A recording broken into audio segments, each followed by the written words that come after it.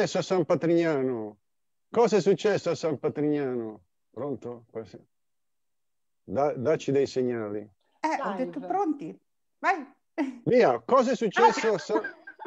Siamo in diretta, pronto, pronto, pronto. Cosa è successo a San Patrignano? Pronto?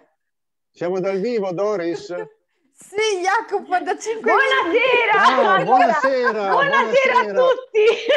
Vai, buonasera. Jacopo! Cosa è successo a San Patrignano? Oh, è arrivato sul, eh, sul, sul, sullo schermo dell'informazione nazionale il caso di Sampa, questa serie, questo documentario tra l'altro veramente eccezionale, che Ameia ci ha costretto a vedere con delle minacce per poterne parlare stasera.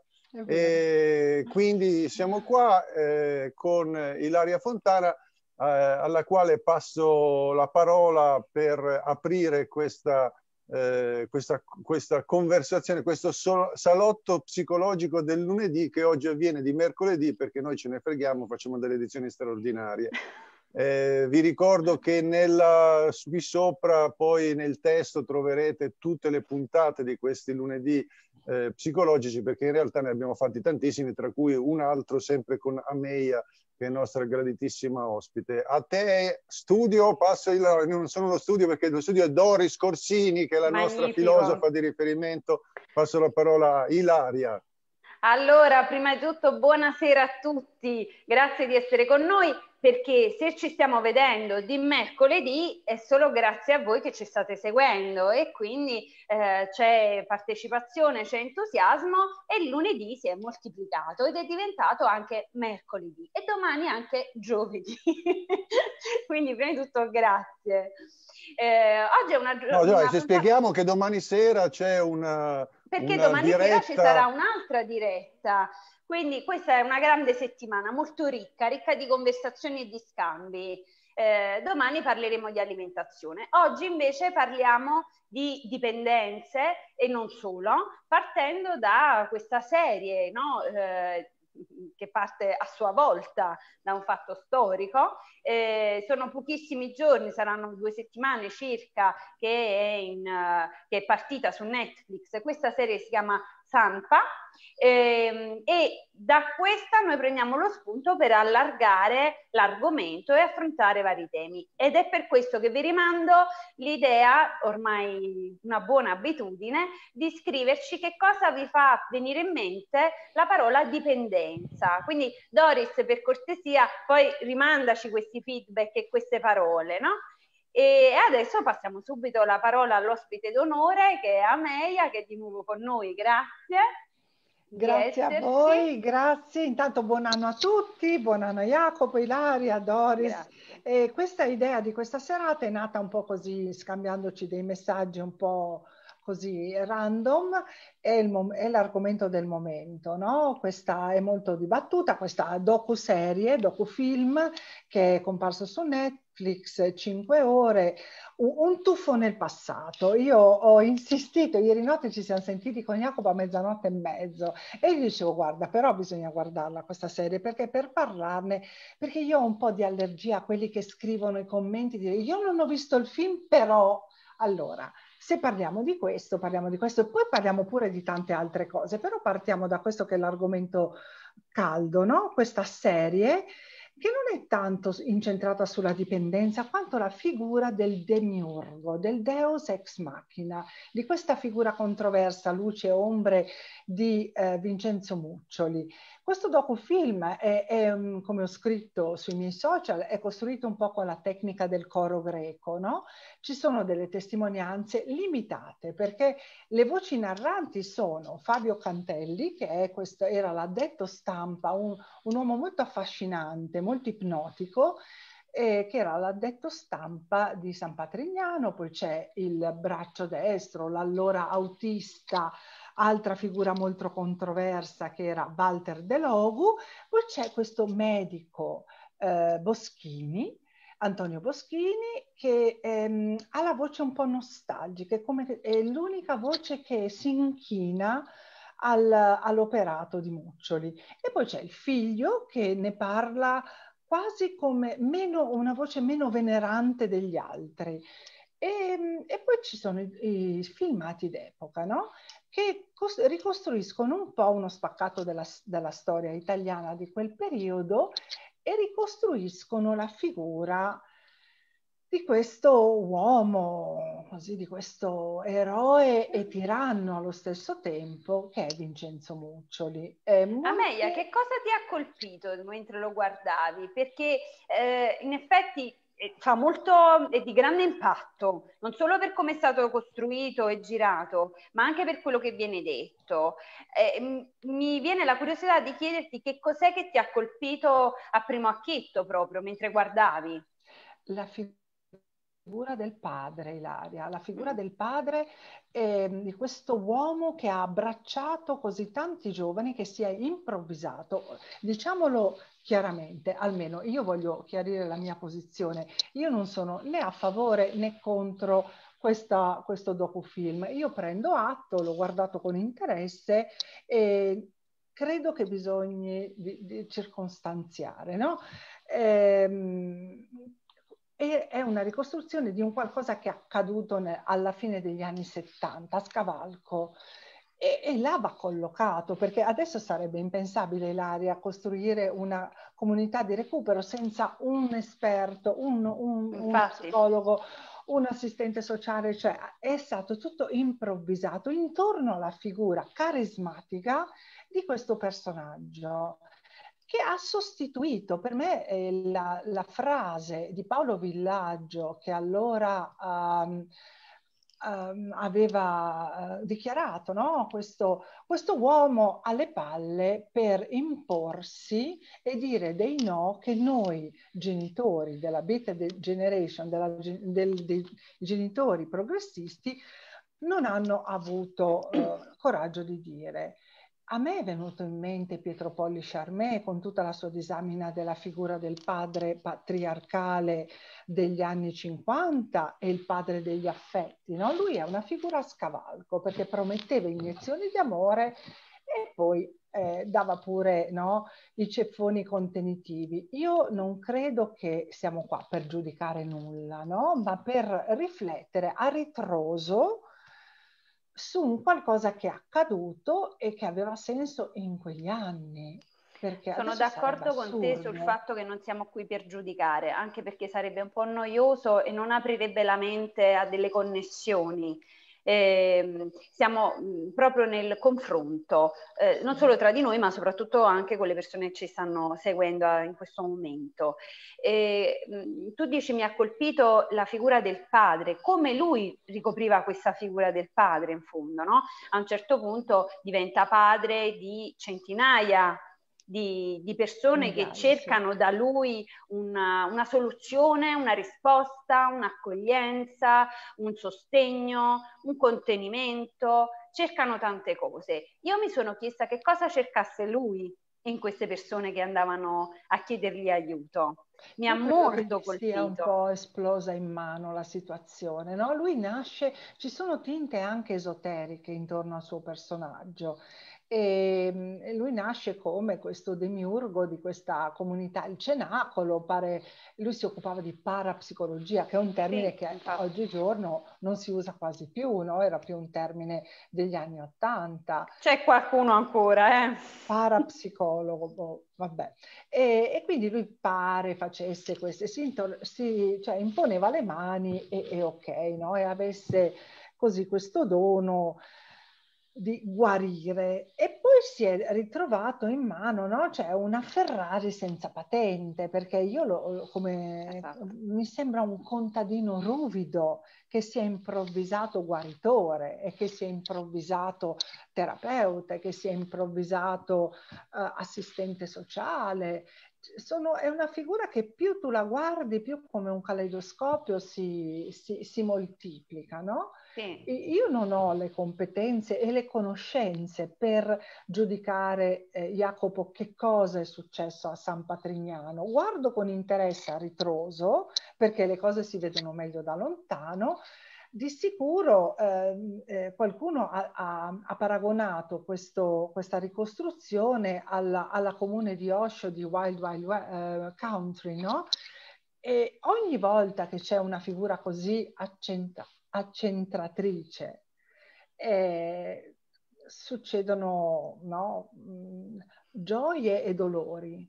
E chi siamo noi per dire? Quello che invece ho sentito eh, come un, un, disappunto di molte persone che hanno adesso, io ho una paziente a cui ho chiesto il permesso di citarla in modo anonimo, la sua storia, ha un fratello che ora è a San Patrignano. Lei, come molti altri, si è sentita molto ferita da questo tipo di ricostruzione, perché il San Patrignano di adesso, da quello poco che ho capito, l'ho visitata anni fa, non ha nulla più a che fare con quegli anni. Quindi io immagino che chi ora gestisce questa, questa comunità terapeutica si dissoci, perché i metodi non sono più quelli. Quindi eh, io credo che il, il, l'intento del documentario non fosse discreditare la comune adesso. Quando chiude dicendo San Patrignano esiste ancora, esiste in un'altra forma.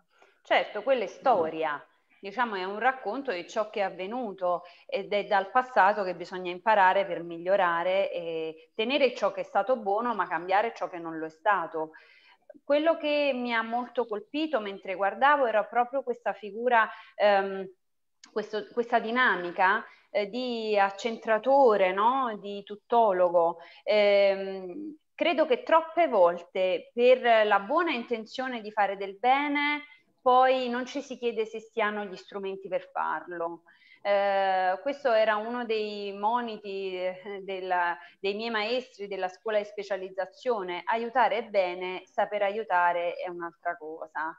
E l'eccesso di aiuto poi ottiene l'effetto contrario, no? Però esatto. io vorrei chiedervi, eh, visto che siete de- del mestiere, eh, di parlare un attimo sul meccanismo per cui eh, queste persone diventano dei eh, leader carismatici, dei padri virtuali, perché in realtà quello che noi abbiamo assistito a San Patrignano e viene fuori anche molto bene dal documentario è che veniva idolatrato nonostante lui avesse dei comportamenti violenti addirittura in pubblico, cioè arrivava a schiaffeggiare davanti a tutti dei ragazzi e delle ragazze eh, e anzi lo dichiarava, diceva io se ci sono dei problemi tiro i ceffoni, quindi non è un'accusa, lui abbiamo nel documentario almeno 3-4 punti in cui lui spiega perché se tu devi salvare una persona che si butta da un ponte non puoi farlo in maniera pacifica chiedendogli scusami per favore non suicidarti, devi afferrarlo, buttarlo per terra eccetera.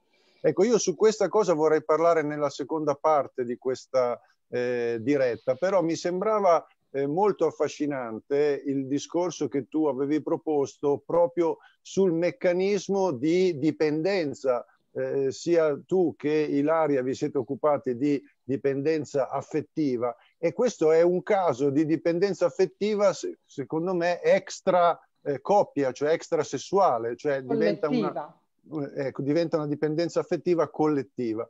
Eh, una piccola nota, io chiedo alle persone che ci stanno seguendo di condividere, non di mettere i like, di condividere questa diretta e poi andrò a vedere chi fa i commenti positivi, se poi perché vengo sul vostro, sulla vostra pagina Facebook e poi chi non ha condiviso facendo dei commenti positivi è un traditore e eh, farò delle cose terribili, non come quelle di Muccioli, ma eh, verrò sotto casa e vi lancerò addosso delle rose rosse così imparate a essere disonesti. Eh, Sempre pacifico però efficace. Pacifico ma efficace. Allora, eh, Ameia e Ilaria, pa- parliamo un attimo di questo argomento, centriamo nel vivo della questione. Perché una persona diventa un punto di riferimento totalizzante nella vita di, eh, loro dicono addirittura 20.000 persone, poi si discute su questi dati, ma comunque 22.000 persone avrebbero riconosciuto Muccioli come un'autorità terrena. Beh, perché lo diventi, eh, non credo che ci sia una risposta unica.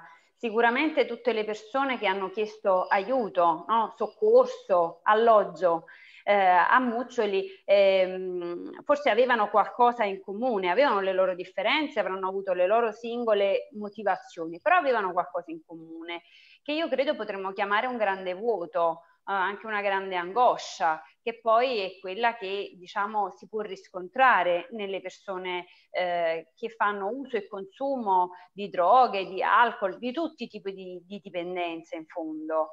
Eh, nel momento in cui c'è un vuoto, c'è un grande dolore che non si riesce a comprendere, ma scava, fa il suo lavoro e questo porta una, un senso di impotenza molto forte, anche di panico. Che faccio? Come lo gestisco? Sento qualcosa ed è devastante per me, mi devasta così tanto che, che mi schiaccia, che non, non sento di avere i mezzi per riuscire a farcela e, e allora trovo una, un appiglio, un appiglio nella dipendenza che non è affatto una soluzione, ma in quell'istante sostituisco eh, una, un dolore con un altro, diciamo, e, e quello mi dà la sensazione che sento un po' di meno, come una assuefazione.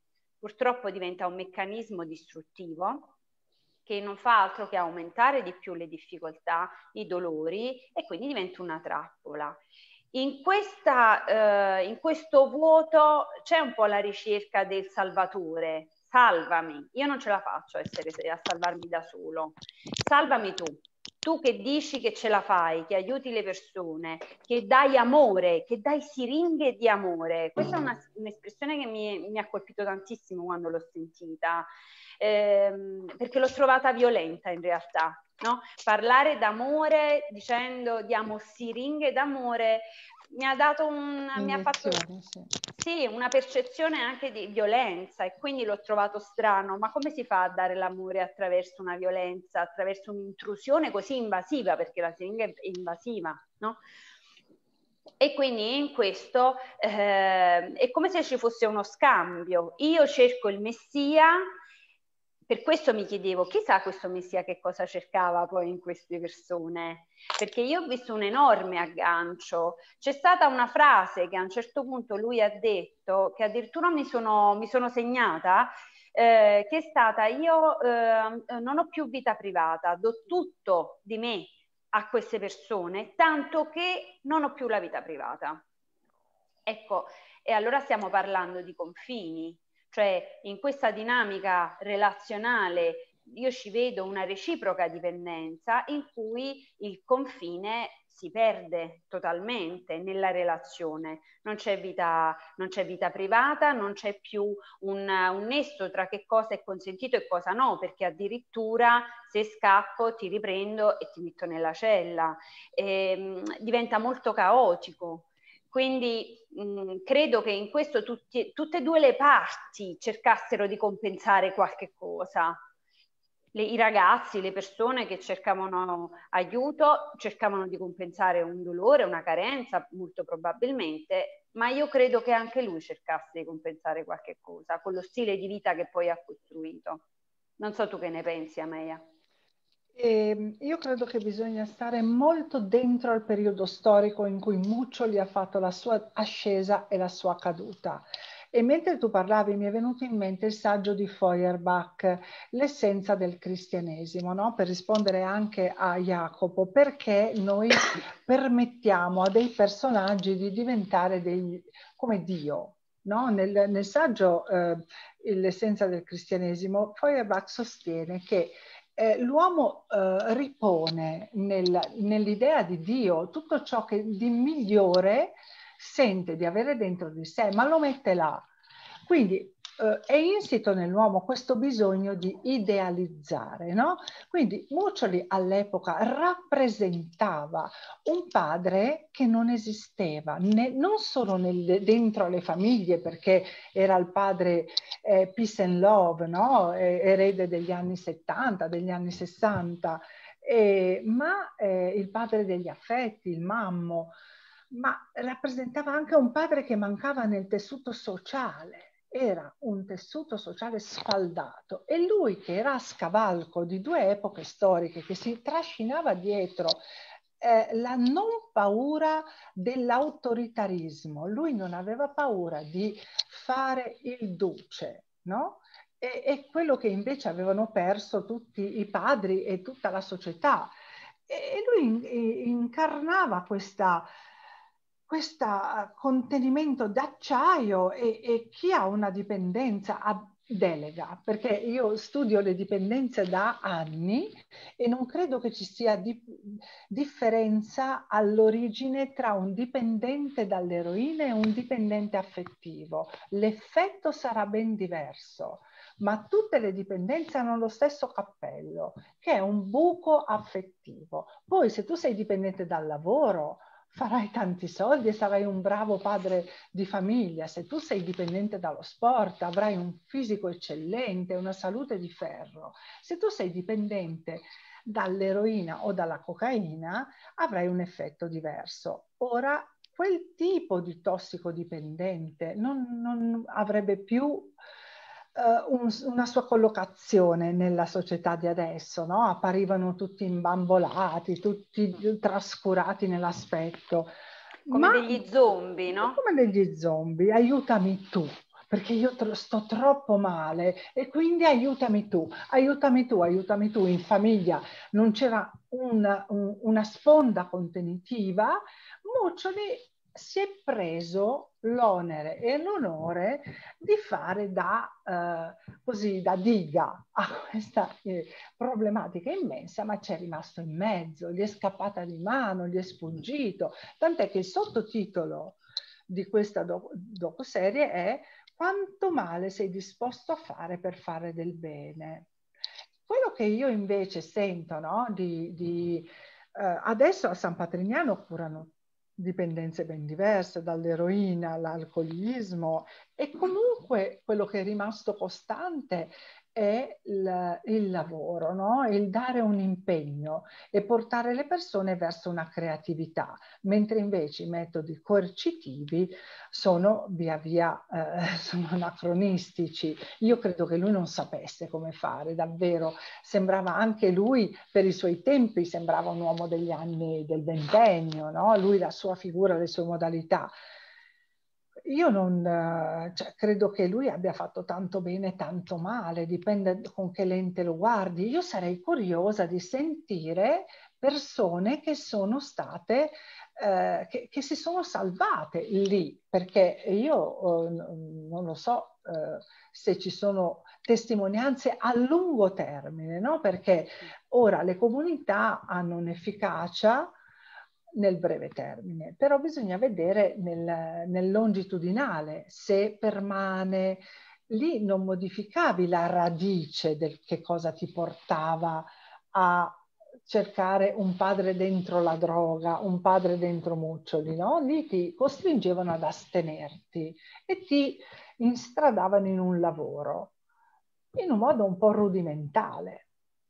Io credo che il lavoro sia sicuramente una grande eh, risorsa, ma non solo il lavoro proprio inteso come lavoro che ti permette di guadagnare e quindi di campare, ma anche tutto ciò che è creativo, che ha un riscontro concreto delle tue forze e delle tue energie. Il lavoro nei campi, al di là della eh, del fatto che richiede dei tempi, uno sforzo e ti può anche dare un, un rientro economico, ma soprattutto è gratificante perché tu vedi nascere qualcosa, così come tante altre eh, situazioni creative, no? La costruivano anche, dipingevano, facevano tante cose. Tuttora la comunità è, tuttora, è bellissima certo. e fanno un sacco di cose molto interessanti e producono, producono e, e, e, puntano sui linguaggi espressivi, creativi e questo credo che sia davvero da riconoscerli. Sì. Quello che è stato, va, secondo me va tenuto distinto, quello che era la personalità dell'eroe o del tiranno Muccioli da il prodotto che eh, si è evoluto negli anni perché farebbe una grande ingiustizia a fare di ogni, di buttare via il bambino con l'acqua sporca. Doris, no, volevi... no, Doris eh, che diceva... Ariella, Ariella ci sta dicendo San, San Patrignano di una volta è un po' come la pandemia adesso, che nessuno sa cosa fare. Cioè, San Patrignano è arrivato in un momento in cui nessuno sapeva cosa fare della droga. Adesso noi con la pandemia non sappiamo cosa fare. Però dice, meno male che c'era. Ed è vergognoso chi, meno male che c'era San Patrignano, ah. cioè, con il bene, con il male, è l'unico che però in quel momento ha fatto qualcosa, cioè, ha paragonato il momento che stiamo vivendo noi adesso, le incertezze del vaccino con quelle che c'erano nel momento lì. Jacopo, no, che l'hai vissuto un po' di più, eh, No, perché mh, non è così. Cioè, eh, San Patrignano, proprio in virtù di questa politica coercitiva, ricordiamo che ci sono stati dei morti ammazzati, ricordiamo che Muccioli ha ammesso, e ci sono tutte le documentazioni in questo documentario, di aver coperto un omicidio sapendo chi era stato il responsabile. Eh, ci sono state torture, c'è stata una ragazza che si è suicidata eh, dopo che le hanno fatto delle cose inenarrabili, stupri da parte dei caporali, diciamo, dell'organizzazione di, eh, di Muccioli. Eh, ma eh, dobbiamo anche ricordare che contemporaneamente c'erano delle comunità in Italia che hanno avuto un successo incredibile in termini di recupero, come ad esempio le comunità di Don Gallo, che io ho conosciuto indirettamente perché ci sono andati dei miei amici e che erano invece delle comunità impostate completamente in maniera diversa sul rispetto, sulla scelta e su un accordo, cioè tu te ne vai, non torni più qua, però io non ti incateno, cerco di, di aiutarti a costruire un ragionamento di responsabilità. E da questo punto di vista eh, io credo che ci sia un grosso imbroglio su eh, San Patrignano. Innanzitutto il documentario dà tutta una serie di informazioni che portano a capire che i dati delle ricerche erano falsati, cioè loro avevano il 70% di successi su un campione di 700 persone che avevano scelto loro per fare lo studio, quindi è una cosa ridicola. E, e, e tanti altri particolari, chi vorrà guardarsi il documentario li vedrà. Ma è proprio il discorso di base che è un grande non, eh, non risoluto, eh, diciamo un grande punto di scontro nella nostra cultura. Per educare i bambini, per eh, formare degli studenti eh, bravi e poi dei professionisti capaci, devo usare il pugno di ferro, devo usare la punizione, il brutto voto, la, la, la bocciatura o c'è un'altra cosa che è la passione? Io non ho mai subito castighi nella mia famiglia, ma mi rendo conto che questo ragionamento eh, è assolutamente non, eh, non va giù. Eh, non si capisce come sia possibile superare delle difficoltà senza imporre quello che è giusto con la violenza. Ecco, io posso dire che noi abbiamo lavorato, io ho lavorato a Alcatraz eh, per anni con ragazzini criminali, ma criminali veri eh, e con tossicomani, eh, su una base di rispetto. Mi è capitato di dover intervenire fisicamente perché in certe situazioni non puoi non bloccare fisicamente una persona che sta per farsi del male, ma eh, quello che avveniva era immobilizzare la persona, metterla a terra, sedersi sopra, continuando a sorridere, a essere gentile e mai in nessun caso provocare dolore. Eh, noi avevamo Alcatraz delle persone, ricevevamo dei soldi dalla ASL eh, perché erano appunto eh, tossicodipendenti o persone con altre storie altrettanto tragiche e il lavoro che loro facevano veniva pagato in regola. Allora, il, il, cosa che non avveniva a San Patrignano dove la gente lavorava e non veniva pagata, non aveva nessun riconoscimento ed è un meccanismo diverso.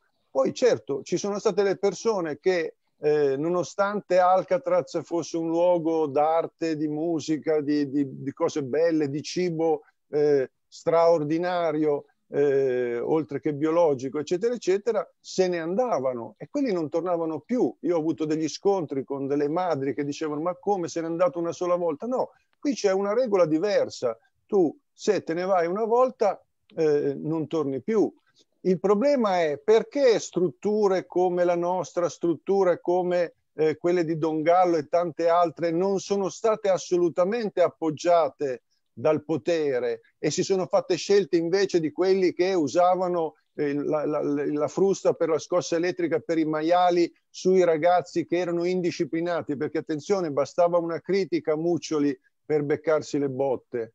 Eh, questo è il problema, questa è la grande questione ed è il motivo per cui io a un certo punto ho smesso di eh, lavorare con i tossicomani perché non era possibile, non si trovava un modo per creare delle situazioni che poi si consolidassero nel tempo. Il nostro progetto che presentammo a destra e manca era quello di creare una serie di case autogestite via via che i ragazzi passavano i primi due anni di eh, normalizzazione e tra l'altro questo veniva fatto poi con l'appoggio di tutta una serie di tecniche, dallo yoga alla meditazione, eh, diciamo esperienze anche dal punto di vista del, del percorso di, di, di psicologia, di, di, ricostruzione di certi meccanismi. Eh, io credo che sia molto grave che oggi personaggi eh, di un certo tipo sostengano che eh, Muccioli era l'unica soluzione e anche questa persona che dice c'era l'emergenza. C'era l'emergenza? Sì, certo, c'era l'emergenza, ma all'emergenza abbiamo risposto in due maniere completamente diverse.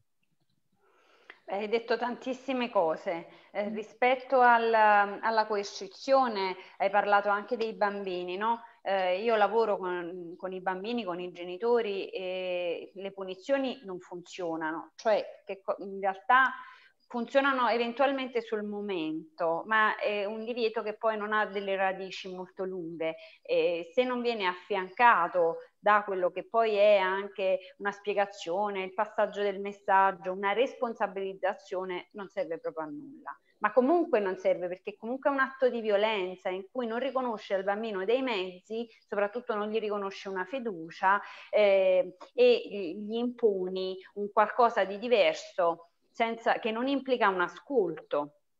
Allora, eh, quello che funziona nelle situazioni è proprio contenere, che è ben diverso dal punire, è contenere e mettere dei limiti. E sicuramente c'è bisogno di una certa tempra poi per mantenere anche quei limiti, quei confini. Eh, è difficile tante volte.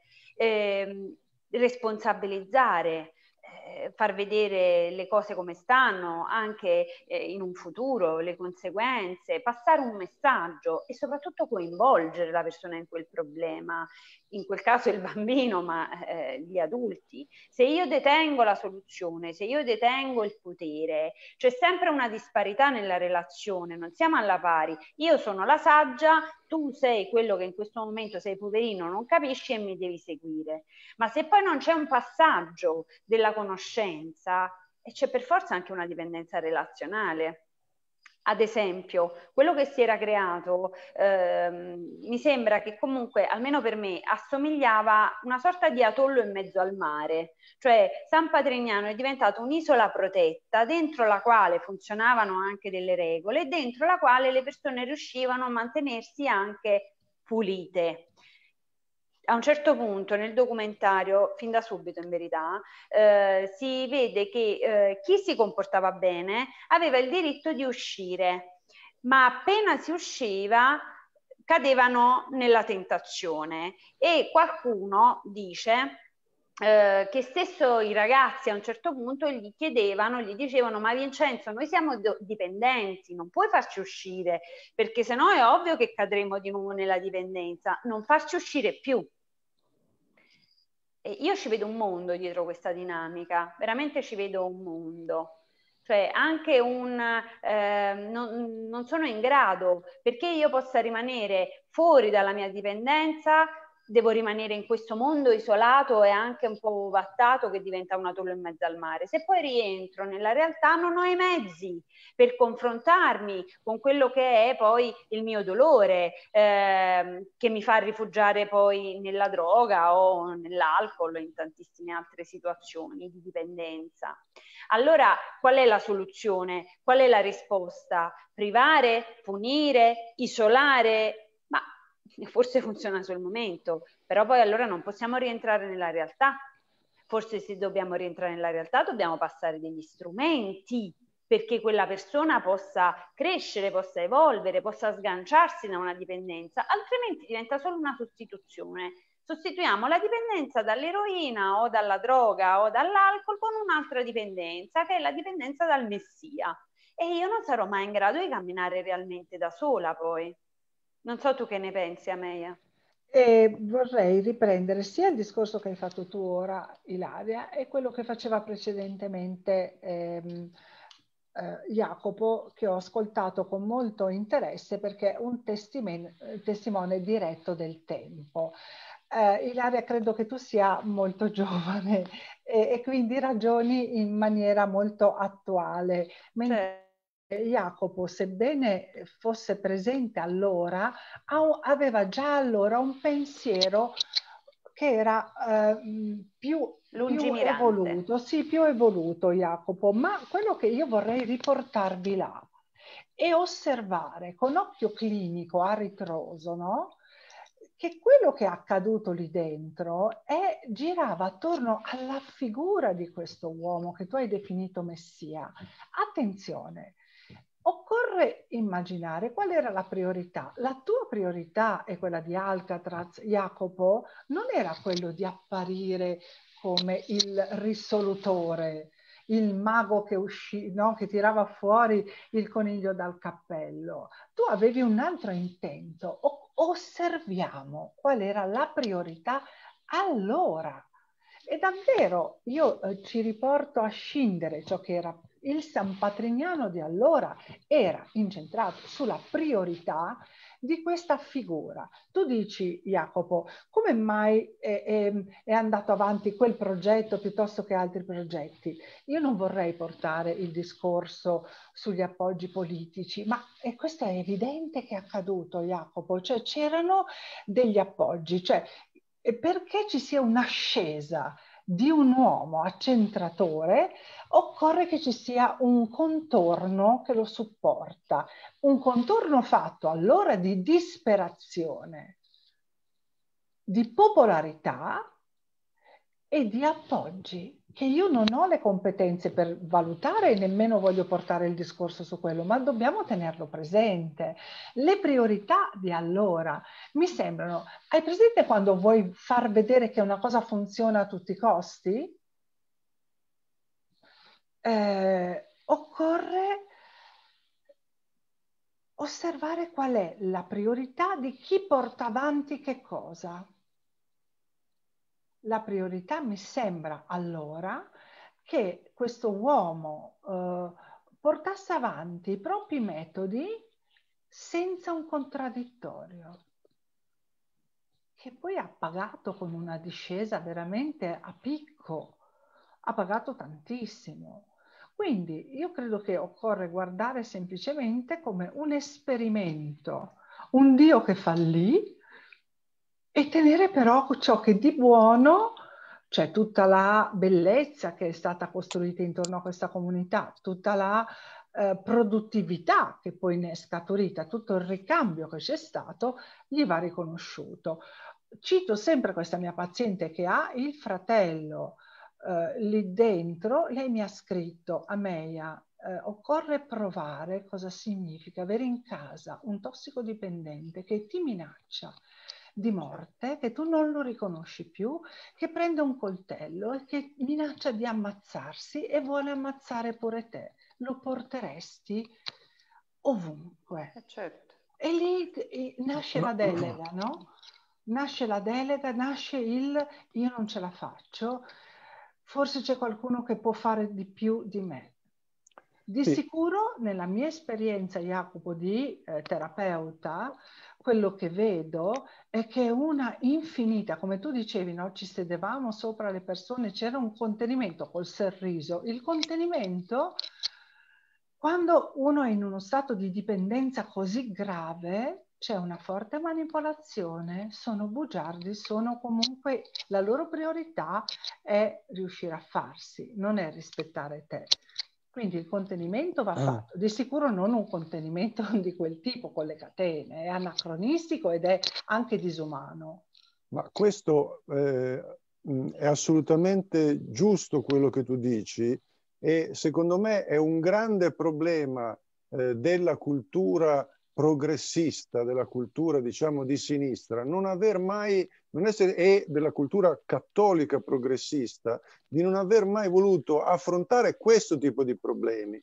Cioè, eh, io mi sono trovato con gente che mi minacciava di morte, io sono stato preso a calci da un ragazzo perché voleva andare a farsi a Perugia e capisco benissimo la situazione di questa donna che si trova a essere minacciata da, dal fratello ti ammazzo se non mi dai i soldi per la droga, ma lì c'è un problema di eh, filosofia globale e di mancanza di strutture pubbliche. Cioè una persona che a quel livello lì deve essere presa e portata con un TSO in ospedale, ma poi ci deve essere un percorso e questo è lo scontro che poi noi ci siamo trovati a fare, cioè eh, non, non, non, è possibile pensare che le strutture di recupero siano anche delle strutture semicarcerarie, gestite da privati in piena libertà e in piena no, con le catene. Ci sono altri modi, ci sono diciamo, strutture di recupero siano che succede? Delle... No, scusami. Ah, è entrato eh, la, la, allora Chiaramente lì Muccioli ha tappato un buco drammatico e da questo punto di vista probabilmente avrà anche ottenuto alcuni risultati positivi, ma eh, eh, non è che se tu hai lo Stato che manca una sua funzione fondamentale non di punizione, ma di contenimento, ma contenimento cioè con delle celle perché imbottite pure, perché se uno è pazzo è, a livello tale che vuole uccidere la, la sorella se non gli dà i soldi per la droga, chiaramente lì non c'è da fare la comunità shanti, yoga, soia, eh, un po' di risottini biologici, eccetera, eccetera. C'è da portarlo in un posto e deve fare un percorso però. Che cosa facevano le ASL? Ti pigliavano questa gente in situazioni pazzesche, la disintossicavano un attimo, ce le mandavano a noi e poi noi avevamo cazzi acidi perché a differenza di, eh, del, del, del gruppo di Muccioli non pestavamo la gente, quindi era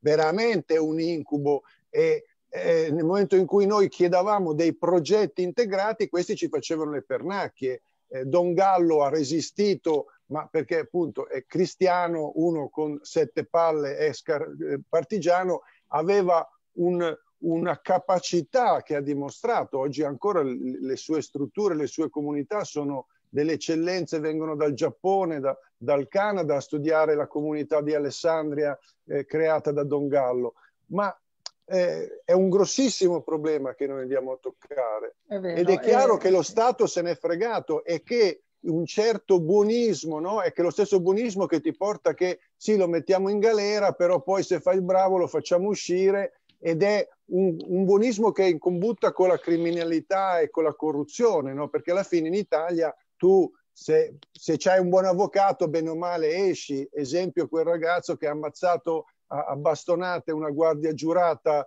eh, a Napoli e dopo sei mesi era condannato non so quanti anni, però era già fuori perché è il suo compleanno, vuoi non farlo uscire a mangiare la torta con la mamma. Ma cazzo, ma questo ha ammazzato, no? E abbiamo pieno di casi di gente che viene considerata guarita perché lo Stato in realtà ha paura a fare lo Stato, poi li fai, fare, fai stare nelle celle, nei manicomi che sono al di sotto de, della dignità di un essere umano.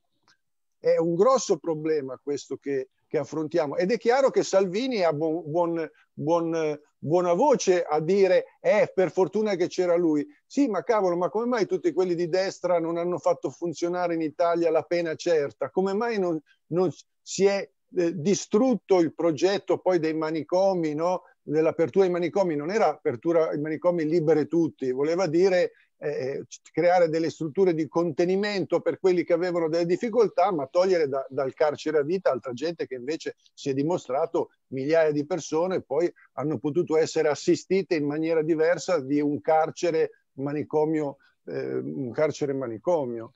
È interessante quello che dici e mi fa riflettere su questa cosa, Jacopo, no? che in ogni sistema, e noi siamo nei microsistemi nelle nostre famiglie, ma anche lo Stato è un sistema, esiste qualcosa che rimane stabile e qualcosa che eh, subisce un cambiamento. Quello che tu mi stai confermando è che eh, seppur la comunità san patrignana è cambiata, il contenimento di un, di un macro più allargato che quello dello Stato è rimasto debole. E questo tu l'hai eh, proprio, no? Hai, hai fatto... Hai debolissimo, debolissimo. Esatto. Ed è centratissimo, questo è... E quindi quella figura del padre, perché io torno sempre lì, no? perché di questo mi occupo, il padre Stato è sempre sfilacciato eh, ha cambiato vestito, ha cambiato epoca, ma rimane il problema, l'hai proprio detto tu, il problema rimane quello. Cosa ne pensi, Laria? No, io assolutamente mi trovo, mentre tu prima Jacopo parlavi, a me continuava a venire in mente la figura del padre, del padre, del padre. Il padre non è solo chi ti mette al mondo, eh, lo Stato eh, è un genitore, è un padre e il nostro è contraddittorio, è ambivalente, è caotico eh, a volte si lascia sfuggire delle cose molto gravi e quindi, Poi assente. assente e quindi i suoi figli, i suoi figli, noi, no? eh, ci sono dei figli che sono molto disciplinati e molto maturi, ma il messaggio che arriva è quello di non essere visti, no? Eh, quindi questo può accadere nel, nel, sistema più piccolo di una famiglia, ma eh, noi siamo figli di questo paese, di questo Stato. Eh certo, e laddove c'è un buco c'è una sostituzione. Doris, volevi farci una domanda? Sì, prima aveva scritto infatti. Sì, allora, Daniel, Daniel Perrocco, che conosci Jacopo, ci dice, in momenti... Doris, non Pronto? ti si sente. Mi sentite? Pronto? Adesso, adesso sì, okay. adesso sì. Allora, Daniel eh, ci dice, in momenti difficili ho cercato varie strutture per sostituirmi nel ruolo di genitore. Una di queste fu San Patrignano. Ho valutato ed analizzato il loro operato e la mia conclusione fu che mi serviva un San Matrignano. ah, che interessante. Bellissimo, questo gioco di parole è stupendo, lo trovo veramente è stupendo. È vero, perché eh? non solo la figura del padre padrone schiacciante, questo Dio onnipotente, no? il padre del Vecchio Testamento, ma Muccioli lo prometteva a parole, no? diceva facciamo le iniezioni d'amore e il pugno di ferro. Di fatto quello che poi dobbiamo osservare è la risultante, perché questi ragazzi che gli si gettavano fra le braccia, a me ha colpito tanto questo, quelle immagini di quei ragazzi che gli si gettavano fra le braccia come se fosse l'ultima spiaggia, no? una sete di padre, salvami tu. Però come ogni dipendente affettivo da sostanza, da un comportamento, sappiamo benissimo che il recupero passa dall'assunzione di una responsabilità. E lui lì, continuando ad accentrare su se stesso, sulla sua ascesa, questo, io credo che lì sia stato il fallimento, del essersi pensato onnipotente, non avendo avuto gli strumenti, non avendo mai delegato, o perlomeno in quello che è stato mostrato, io non conosco tutta la... la e, e, chiedo scusa se, se, mi pronuncio su una cosa che è comunque parziale, ma dall'impressione che ho avuto, è mancato comunque una suddivisione dei compiti e, e mi piace molto questa, questa eh, osservazione di Daniel che anch'io conosco e che è la, l'assenza della madre, no? la sostituzione di una madre che non può essere una madre troppo eh, così permissiva, perché chi ha un problema di dipendenza va... Uh, la, la, la, la, buona uscita è un contenimento sufficientemente buono, dove tu pian pianino ti assumi le tue responsabilità. Non posso abbracciarti fino a soffocarti, non posso schiacciarti e incatenarti. Mm. Eh, volevo mettere in luce un meccanismo che avevo notato, no? Come ehm, che secondo me si evince da queste immagini, poi mi direte anche voi se lo avete notato, come se l'affetto fosse diventato un premio. Cioè, eh, ci ho visto un po' un, un ricatto sotto, una manipolazione. Se sei bravo, e allora ti abbraccerò, ti loderò e ti, anche in mezzo agli altri. A un certo punto lui dice proprio io cammino nei, nei campi, eh, nelle, nel podere e mi abbraccio le persone è difficile mettere insieme questa immagine con, que- con quello che punisce, con quello che ha insomma degli atteggiamenti di eh, coercizione. E allora là diventa poi la, l'affetto diventa un premio. Se sarai bravo, se sarai come io ti dico, allora ti abbraccerò e ti bacerò. E, e Però, questo... vedi, scusami se ti interrompo, è sempre un rispecchiamento narcisistico, eh non certo. per fare delle diagnosi volanti, però così è palese che tutta la faccenda in quel caso, in quell'epoca, era costruita intorno, cioè questi, questi ragazzi diventavano oggetti sé, se io ti tiro fuori dalla droga, lo, questo ri, rispecchia e fa luce a me. E questo secondo me è la differenza tra le altre comunità che hai citato, Jacopo, e questa grande, eh, eh, così, questo, questa priorità palese di questo così, capo, capobranco, no? capo clan, dove comunque era se tu esci e, e tutti ci illustriamo per fare lustro a, a, a, a chi alla fine. Eh, però io vorrei dire che se una persona vuole realmente aiutare gli altri, deve anche non diventare quel tipo di figura, cioè perché lì tu prendi potere sulla persona, poi la persona avrà sempre bisogno di un sostitutivo del padre. Cioè una delle cose di cui io sono molto orgoglioso che dopo 40 anni che io ho fatto i corsi di yoga, che avrei potuto diventare un guru, ma l'ho chiamato yoga demenziale proprio per togliere il rischio che qualcuno mi idealizzasse. Dopo anni passati a lavorare con, con i criminali, con i tossicomani, eccetera, eccetera, io sono riuscito a non creare nulla di questo. Chiaramente questo atteggiamento dal punto di vista sociale lo paghi. Alcatraz è stata sabotata da tutti, non ho mai avuto nessuno che contasse quattro lire che ci avesse appoggiato. Perché? Perché proprio ti manca, cioè l'ideologia dello Stato che fossero gente di sinistra o di destra non cambia, cioè noi abbiamo avuto per eh, dopo la liberazione comunque un'ideologia paternalistica, paterna, autoritaria nel, nel, nel, nel, sistema per cui ti metto in carceri disgustose, però se fai il bravino ti faccio anche uscire. No? Per cui per questo Muccioli è stato riconosciuto come simile dal potere e noi siamo stati riconosciuti come nemici e quello che proponevamo nei convegni o lei ci, ci sputavano in faccia e anche situazioni come quella di Don Gallo hanno pagato eh, l'emarginazione in tutte le maniere possibili e immaginabili. Però volevo sentire Doris perché visto che siamo in chiusura, se c'è qualche altro intervento, così diamo un attimo, facciamo risposte veloci eh, per, per, dare mm. voce a, al più possibile altre persone. Maria Pia nel profilo, perché stiamo andando in diretta anche sulla pagina della dottoressa Amelia Cannovi di Troppo sulla pagina de, della dottoressa Ilaria Fontana. Eh, nei commenti in diretta sulla pagina di Di Troppo Amore, Maria Pia ci chiede, Muccioli aveva disturbi narcisistici della personalità? Sta chiedendo alle due psicologhe. Secondo voi Muccioli aveva dei disturbi narcisistici?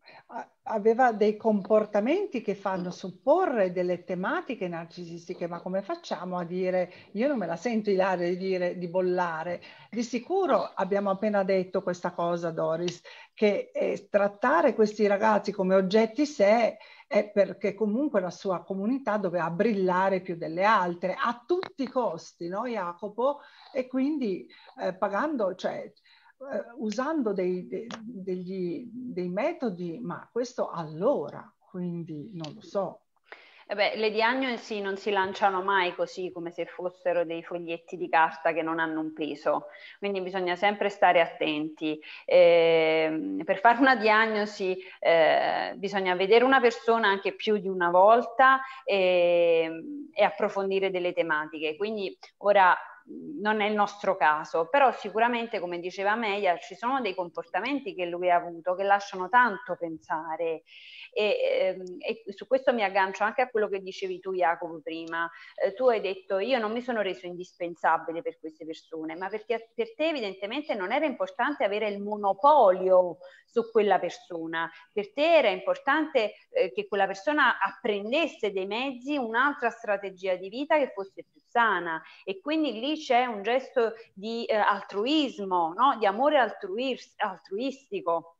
È, è un personaggio, una persona che si accerchia di fama, che gli piace eh, diciamo, passare tra la folla e essere acclamato e che tiene per sé il segreto della salvezza, no? ma eh, mette bene, come dire, delle regole di punizione e di merito, è una persona molto diversa. E per, io ho iniziato dicendo proprio, chissà lui che cosa cercava in questo, cioè piuttosto chiaro cosa cercassero le persone che avevano bisogno e che erano eh, intrappolate nella sabbia mobile della dipendenza, ma io credo che anche lui, questo l'ho detto fino all'inizio, ne avesse un gran bisogno, un bisogno di essere cercato, un bisogno di essere visto come quel padre che salva, perché diciamoci sì. la verità, eh, eh, gli occhi brillanti dei figli che dicono eh, ah tu sì che sei arrivato a salvarmi, possono essere molto gratificanti per una certa tipologia tipologia di personalità.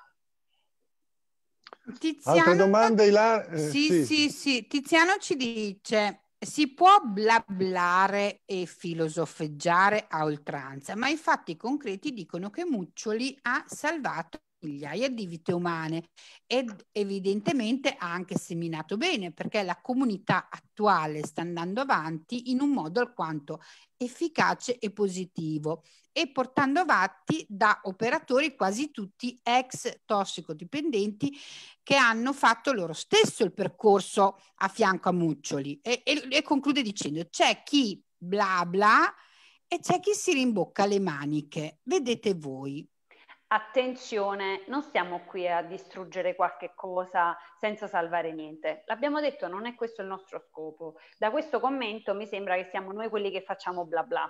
Allora, eh, no, non credo che era questo il nostro eh, intento. Sicuramente la comunità continua a essere efficace, in, piede, in piedi e ben venga che lavori bene sicuramente lui avrà piantato dei semi che fortunatamente hanno dato dei frutti, meno male. Allo stesso tempo eh, io non credo che eh, il fine giustifichi i mezzi sempre e comunque. No, ma io vorrei dire a questa persona, ah, bla bla bla bla, te lo fai te, perché io ci ho lavorato anni con la tossicodipendenza, quindi non ti sto dicendo delle stronzate filosofiche, ti dico della roba che ho sofferto sulla mia pelle, punto primo. Punto secondo, attenzione, perché il tuo obiettivo è avere uno che smette di farsi di eroina e va avanti a tranquillanti, antidepressivi e alcol, perché questo è il discorso. Cioè, rendiamoci conto che con quel meccanismo lì non si fa uscire la gente da nessun tipo di dipendenza, sposti il malanno. Altro discorso è quello che succede oggi a San Patrignano. Anche io credo che proprio perché alla fine, bene o male, lo Stato, l'opinione pubblica, il casino che abbiamo scatenato, io in prima persona, quando c'era cuore, contro questi crimini, avrà portato delle persone a riflettere, perché viva Dio, l'essere umano, secondo me, potenzialmente è buono. Il principio generale non era scorretto e non l'ha inventato Muccioli, cioè ti porto in un posto in mezzo alla natura, dove lavori, dove fai delle attività artistiche, dove ti occupi dei cavalli, addirittura vai a fare le corse, eccetera, eccetera. Cioè ti do una possibilità di appassionarti e questa possibilità di appassionarti ti guarisce. Questo siamo d'accordo tutti che funziona. Quello che stiamo discutendo è su un pezzettino, cioè torture, alcuni morti, botte da orbi e stupri. E questo non mi puoi dire abbiamo salvato tanta gente perché ne abbiamo stuprate tante di donne e di maschietti ok? Perché poi lì ci sarebbe aprire tutto un capitolo di cui poco si occupa il documentario, ma comunque lasciamo perdere. Ma il discorso cos'è? È che eh, da questo punto di vista elogio dei figli. Io credo che il figlio di Muccioli abbia sofferto le pene dell'inferno, si sia reso conto che proprio non era tutto perfetto e probabilmente ha dato una sterzata al sistema eh, eh, ma comunque è uscito, è uscito, è uscito da, sì, dalla fa. storia del padre, perché viva Dio ci sono dei figli che riescono ad andare laddove i padri non sono arrivati. Eh, il figlio di Muccioli non mi sembra assolutamente uno che si presenta come una divinità, come uno impositore delle mani, eccetera, eccetera. Ehm, la, scusate, e, eh, però eh, sul, sui numeri per, fare, per non fare bla bla bla dovremmo fare una cosa che non possiamo fare, cioè confrontare i risultati delle comunità tipo Muccioli, vecchia maniera, e delle altre tipo di comunità. Cioè, noi abbiamo delle esperienze in Norvegia, in Svezia, in Danimarca, in, negli Stati Uniti straordinarie che hanno portato realmente a una ricomposizione della personalità. Quindi non è che c'è o muccioli o niente, abbiamo detto Don Gallo, ma andiamoci a studiare comunità che poi hanno fatto degli studi affidati a enti terzi sull'efficacia. E io sono sicuro che se andiamo a confrontare questi e facciamo una seria valutazione di quelli che si sono salvati, sì, ok, sono vivi, ma attenzione, essere vivi non è il nostro obiettivo, il nostro obiettivo è essere vivi, essere degli esseri umani che sono cresciuti e si sono sviluppati pienamente. Quindi, carissimo, il bla bla lo stai facendo te. E scusatemi, io non ho abitudine di incazzarmi durante le trasmissioni, ma voglio dire, forse non, ti, non, hai ascoltato quello che abbiamo detto e sicuramente non hai visto il documentario, perché se tu pensi che con eh, le, le, le, le, barre elettriche per spostare i maiali si possa far guarire uno dalla tossicodipendenza, stai facendo un, un gran bla bla e non sai un cazzo di queste cose. Ecco. Eh. Ameia, faccio sentire un attimo il tuo parere, così poi salutiamo. E... Osservo, la, la, eh, ascoltavo rapita eh, Jacopo che si è appassionato di questo argomento perché proprio l'ha vissuto. Quindi vedi che ho, uh, ho avuto ragione di coinvolgervi in quanto certo. persone eh, insomma calde sul tema. Eh, tornando a, a, per trovare una chiusa, credo che a ritroso le cose, guardate da lontano, le cose possono insegnarci qualcosa e, e anche di, di, di, di, in quale direzione guardare. Quindi io sono d'accordo con quanto ha detto Ilaria prima, cioè il dare, e anche Jacopo, il dare una dignità ciò che ti porta fuori da una dipendenza, ma anche da una persona, eh, perché questo è il mio certo. tema quotidiano. Io quando parlo di dignità, le mie pazienti mi guardano come dire dignità, come se non conoscessero questa casella.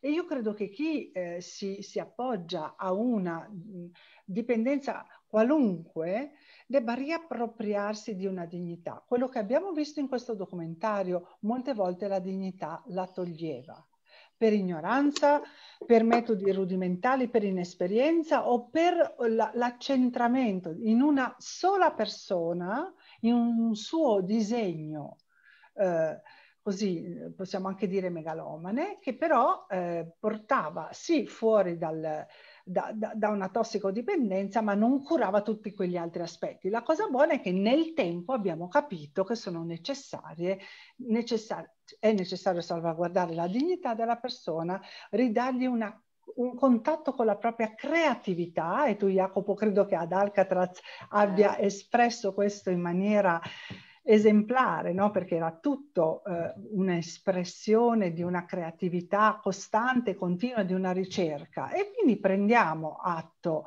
che quello è stato un episodio, un pezzettino di una storia italiana, un inizio e mh, mm, portiamo avanti le nostre riflessioni mantenendo attivi tutte le, uno sguardo globale complesso. Bene. Ci sono altre ci sono altre domande, Doris? Più che grande c'è Tiziana che vuole ricordare questa sera con uno scritto sulle streghe che non sto a leggere perché è lunghissimo, che semplicemente conclude. Sono perché ero ghis- Non ti Doris, si sente, Doris? No, Avvicinati al microfono. No, La tua voce va bene. Sì. Ok, proviamo così. Sì, così. Stavo dicendo che ehm, Tiziana invece eh, vuole ricordare nella giornata di oggi, visto che siamo nell'Epifania, eh, un, ha postato una cosa di tua madre sulle streghe, che non sto a leggere perché è lunghissimo, e leggo solo l'ultima frase che dice sono strega perché i roghi esistono ancora, io prima o poi potrei finirci dentro. Crame. Eh, te, facciamo attenzione, i roghi esistono ancora e direi che eh, quest- questa sera abbiamo parlato di un bel fuoco che ha divampato e, e, e si è trasformato in qualcos'altro. Cosa ne dite? Eh beh sì, direi di sì. Mm. eh, è molto, tra l'altro si collega a tantissime tematiche, quindi io credo che anche chi ci ha sentito, chi ha commentato, probabilmente si è sentito scosso da tanti aspetti. Eh, credo, anzi, credo che rimarranno anche nella mente per un po'. Perfetto. Bene, allora io vorrei ringraziare Ilaria Fontana e eh, Amelia Canovi e Doris Corsini, che è la nostra filosofa di riferimento, nonché regista. Ecco questa storia della filosofa mi autrice. stai rovinando. Eh, eh, Doris, uno arrivato a una certa età, non hai più 18 anni, eh, sei in grado di reggere la verità di quello che tu rappresenti per tutta la collettività che ti vive in, intorno. Lo sai che sei un punto di riferimento. Poi puoi far finta di niente, però sappiate che grazie a Doris il parmigiano reggiano di montagna è diventato una cultura, cioè perché Doris spazia dal tossicodipendente al contadino che fa la mucca, e lei ha, quando lei va nelle stalle aumenta la produttività di latte e la qualità migliora. Quindi... Doris, mi dispiace. che prendermi Hai... in giro per i prossimi 15 anni. No, Buona e poi notte. tra l'altro Doris si sta preparando a invadere la Cina perché sta studiando il cinese. È vero, sì, è vuole vero. diventare una no- novella Confucio e dare finalmente dei messaggi costruttivi ai cinesi che escono da questa epoca un po' di casino in cui si trovano. Doris, brava, come Doris, vedi, brava! Doris, come vedi, anche se tu non, ci, non, non vuoi comparire e ti rendi invisibile, non hai speranze di esserlo. Xiao, xiao. per, per adesso ho imparato di indispensabile la Doris, Grazie, buonanotte. Grazie, Grazie al padrone di casa. Amelia, Amelia, voglio un commento finale di Amelia, un, un secondo. Ti è piaciuta questa serata? Mi è piaciuta, mi ha dato spunti di riflessione. Ricordo una cosa, prima di pronunciarci su qualunque tema, guardiamo, osserviamo con un occhio umile, con un occhio, non diciamo non ho visto il film ma, non ho letto il libro ma, ma io ho sentito, eh, Jacopo, che tu questa sera hai parlato di un qualcosa che tu hai vissuto dentro di te e quindi ha un valore per me, che ho, ti ho ascoltato, eh, un valore aggiunto. Mi piace molto l'attitudine di approcciarsi alle cose con una umiltà, un guardare con rispetto alle cose. Va bene, questa è una frecciata perché noi non volevo guardare la serie, sei sì. il tuo senso di dominio sulla realtà è soddisfatto. L'abbiamo vista, l'abbiamo vista. E anche interrogarci. Bene, abbiamo bene. anche discusso dopo averla vista. Comunque, niente, io vorrei ricordare che stiamo conducendo una inchiesta, una statistica ed è provato che le persone che hanno visto una nostra trasmissione e l'hanno gradita e non l'hanno condivisa non hanno la stessa vita di quelli invece che hanno condiviso perché condividere i lunedì eh, psicologici che avvengono di mercoledì e anche di giovedì, ricordo che domani sera ci colleghiamo con la dottoressa Fe, Fabrizio eh, una, veramente una Maria grande ricerca. Fabrizio. Ripeti? Maria Ernestina Fabrizio. Ok, domani sera alle 9 altro collegamento. Questa è una settimana di fuoco perché inizia l'anno, vogliamo darvi degli strumenti fantastici. Un bacio a tutti, grazie Doris, grazie, grazie Ilaria, grazie a Meia, vi Alla voglio prossima. bene. Buon anno a tutti, buone riflessioni. Buon anno, buon anno a tutti.